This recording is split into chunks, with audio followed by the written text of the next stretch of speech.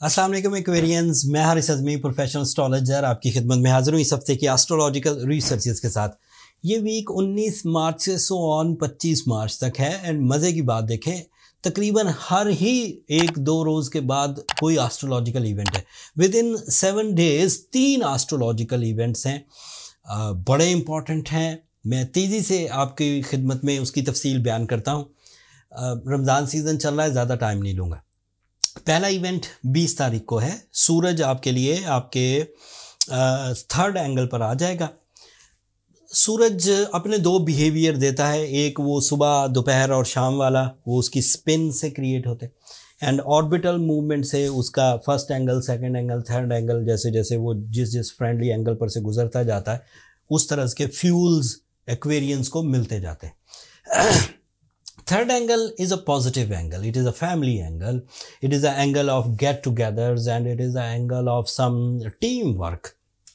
Third angle पर काफ़ी positive होता है and it is representative of your seventh angle so arrange marriages marriage की प्रॉब्लम्स का रिजॉल्व होना रिलेशनशिप uh, अचीवमेंट्स नाराज़गी का खात्मा पार्टनरशिप फैमिली पार्टनरशिप्स फैमिली के लोगों के दरमियान business partnership these are all possible अभी और तफसील बयान करूँगा। इसी थर्ड एंगल पर मरकरी भी है। इन दोनों के मिल जाने से क्या एडवांटेजेस मिलेंगे, वो तफसील बयान करूँगा। दूसरा इवेंट सुनिए। दूसरा वाक़ 22 मार्च को होगा। मार्स नाम का एक प्लानट है। वो आपके सेकंड एंगल पर आ जाएगा। ये बात, ये फिनोमिना समझ लीजिए कि मार्स दो साल में एक दफ़ा किसी एक एंगल पर से गुजरता है। इस दफ़ा 2024 में अभी आपके सेकंड एंगल पर से ट्रांजिट करेगा छः हफ़्ते यहाँ रहेगा अप्रॉक्सीमेटली कमोवेश फिर ये 2025 में सेकंड एंगल पर नहीं आएगा। फिर 2026 में दोबारा अपनी रोटेशन में फिर सेकंड एंगल पर से गुजरेगा। It is so positive Mars आपके लिए इंपॉर्टेंट है। एक तरह से इसकी इंपॉर्टेंस ये है कि Mars is representative of your career जब भी कभी मार्स अच्छा हो, किसी पॉजिटिव एंगल पर हो तो एक्वेरियंस का कैरियर, स्पेशली ताजर, जो तजारत करते हों, चीज़ें लेते एंड बेचते हों manufacturers builders real estate agents stock exchange agents या फिर फोर्सेस के लोग एथलीट्स ये इससे बहुत बड़े एडवांटेजेस हासिल होते हैं। It is a type of season जो कि सडन गेन्स की वजह बनता है। मार्स की ज, जिस जगह अपेयरेंस 22 तारीख को होगी सेकेंड एंगल पर इस एंगल पर वीनस ऑलरेडी है इसी एंगल पर सैटर्न ऑलरेडी है। इन तीन प्लैनेट के ग्रुप की वजह से आपकी ज़िंदगी में financial stability educational activities sudden gains या फिर कंफर्ट ऑफ़ लाइफ एक्सपेक्टेड है। जो तीसरा इवेंट होने जा रहा है वो होगा 25 मार्च को। चाँद ग्रहण है। एंड uh, इसके पीछे बड़ी तफसील है। तेज़ी से बयान करता हूँ। चाँद ग्रहण पाकिस्तान में नज़र नहीं आएगा लेकिन पाकिस्तान टाइम के मुताबिक ये नौ बजकर तिरपन मिनट सुबह शुरू होगा। क्योंकि डे टाइम है तो ये एक ऐसे होराइजन पर होगा कि हमसे नीचे होगा वेस्ट कंट्रीज़ में। लिहाजा हम पर हम हमारी हमारी कंट्रीज़ में साउथ एशियन कंट्रीज़ में ये नज़र नहीं आएगा। जब कोई ग्रहण नज़र नहीं आता तो जो इस्लामिक पॉइंट ऑफ़ व्यू है वहाँ नमाज़ आयत भी वाजब नहीं है। नमाज़ कसूर। जैसे पिछले दिनों आपने देखा, जब रमज़ान का चाँद हुआ तो खलीजी ममालिक में एक दिन पहले हुआ, उन पर तमाम रमज़ान की जो पाबंदियाँ, वाजबात, फ़राइज़ शुरू हो गए थे। हमारे यहाँ चाँद नहीं हुआ था, अभी हम लोग रोज़ा नहीं रखे हुए थे। लेकिन अगले दिन जब चाँद पाकिस्तान में हुआ तो फिर पाकिस्तान में भी वही वाजबात एंड फ़राइज़ एंड जो मज़हबी ड्यूटीज़ हैं, वो शुरू हो गई। इसी तरह चाँद का मामला है। अगर ग्रहण यहाँ नज़र आता तो मजहबी ड्यूटीज़ होती, ग्रहण यहाँ नज़र नहीं आ रहा तो मजहबी ड्यूटी लेकिन जो आस्ट्रोलॉजिकल इम्पैक्ट्स है वो मेरा एंड मेरे कुलीग एस्ट्रोलॉजर्स का ये मानना है कि एस्ट्रोलॉजिकल इम्पैक्ट सोलर सिस्टम में आते हैं और वो किसी हद तक ह्यूमन नेचर पर असरअंदाज होते हैं। लेकिन इस दफ़ा वाला चाँद 25 तारीख को रमज़ान सीज़न की वजह से डंप हो जाएगा। रमज़ान की बरकतें इतनी ज़्यादा हैं कि चाँद की तरफ़ से अगर थोड़ी सी चाँद ग्रहण की वजह से थोड़ी सी प्रॉब्लम्स आती भी तो वो बड़ी हद तक चाँद की सूरज, रमज़ान की वजह से दब जाएँगी। एंड दूसरा Aquarians are very good at the moment in their planetary position so कोई इशू ही नहीं होगा। इतने पावरफुल प्लानट्स इस वक्त आपको सपोर्ट करें कि चाँद ग्रहण आपके ऊपर असरअंदाज नहीं होगा। एंड तीसरी वजह एक्वेरियन इंटरनली अपनी नेचुरल एबिलिटीज़ में ही स्ट्रॉन्ग है, वो चाँद ग्रहण को टॉलरेट कर जाएँगे। सो चाँद ग्रहण इन्फॉर्मेशन के तौर पर आपको बताया बट इम्पैक्ट कोई नहीं डालेगा। ये तीसरा इवेंट था। अब आते हैं पॉजिटिव न्यूज़ की के तरफ़। पहला इवेंट जब सूरज आपके सेकंड थर्ड एंगल पर से गुजरेगा मरकरी के साथ है तो आपकी कम्युनिकेशन बड़ी मैजिकल होगी, आपकी डील मेकिंग स्किल्स बड़ी पावरफुल होंगी, आपकी लर्निंग स्किल्स बड़ी पावरफुल होंगी एंड इसकी वजह से आप मेरिटफुल डिसीजंस ले सकेंगे।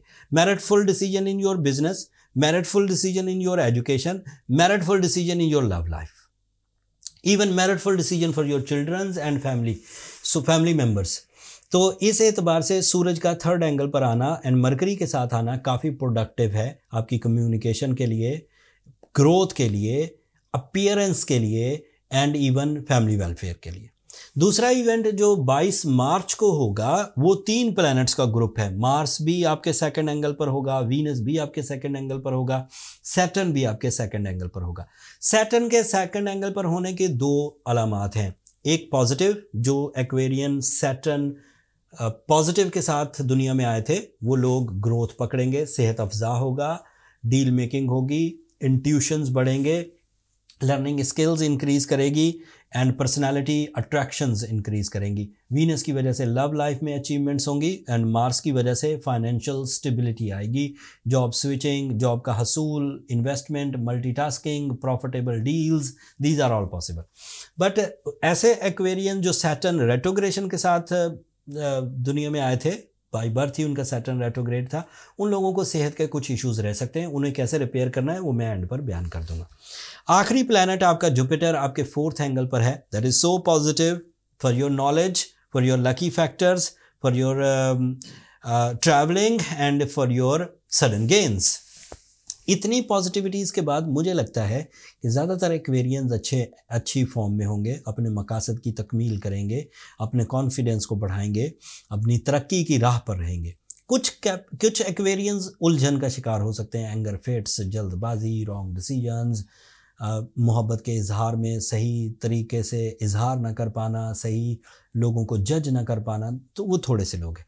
उन लोगों को चाहिए कि वो सुर शम्स ज़रूर पढ़े। सूर्य शम्स पढ़ने से न सिर्फ़ उन्हें खैर और बरकत मिलेगी पीस ऑफ़ माइंड मिलेगा पीस ऑफ़ हार्ट मिलेगा, बल्कि उनकी नाकामियों के जो वजूहत हैं, वो भी रिपेयर होंगी। एंड बीइंग एक्वेरियन सैटन के नेगेटिव इम्पैक्ट को दूर करने के लिए उन्हें ब्लू सफ़ायर पहनना चाहिए, आठ से दस कैरेट। ये बहुत पावरफुल रेमेडी है। इससे एक्वेरियंस की तमाम internal weaknesses and time behaviours की वीकनेसेस रिपेयर हो जाएँगी। अगर ब्लू सफ़ायर आपने नेचुरल पहना तो। ब्लू सफ़ायर बहुत अच्छे श्रीलंका से आते हैं। Grade one blue sapphire South Africa से आता है। हमने एक कलेक्शन कश्मीर से भी जमा की है। वहाँ से भी बहुत अच्छे एंड सस्ते दामों ब्लू सफ़ायर मिले जो नेचुरल थे। इन कलेक्शंस को हमने अपने स्टोर पर डाल दिया है। नीचे डिस्क्रिप्शन में भी इसका लिंक है, ऊपर कार्ड पर भी आपका लिंक आ रहा होगा। अगर किसी को भी हीलिंग स्टोन्स चाहिए अपने डोर स्टेप पर, आप दुनिया के किसी भी हिस्से में, मेरी सुपरविजन में, मेरे एस्ट्रोजेम्स के अतमाद के साथ तो आपको आपके डोर स्टेप पर स्टोन डिलीवर हो जाएगा for with a single click इनशाला आखिरी बात। जितनी अच्छी प्लानिटी पोजीशन इस वक्त एक्वेरियंस आप पर बनी हुई है, चाँद ग्रहण को तो बिल्कुल खातर में ना लाए। अपनी इबादत की तरफ़ तवज्जो दें, अपनी मिशंस की तरफ़ तवज्जो दें, आप कामयाबी की राह पर गामजन हैं। अगले कुछ हफ्तों में मज़ीद ग्रोथ की खबरें सुनाऊँगा आपको। अब मुझे इजाज़त दीजिए, ज़्यादा टाइम नहीं लूँगा आपका, रमज़ान सीज़न चल रहा है। अपनी तवज्जो, अपनी इबादतों की तरफ़ दीजिए। अपनी दुआओं में मुझे और मेरी टीम को भी ज़रूर याद रखिएगा। चैनल को सब्सक्राइब करना मत भूलिएगा क्वेरियंस आप लोगों की सब्सक्रिप्शन हमारी हौसला अफजाई की वजह बनती है। अगले हफ़्ते तक के लिए अल्लाह ने के बाद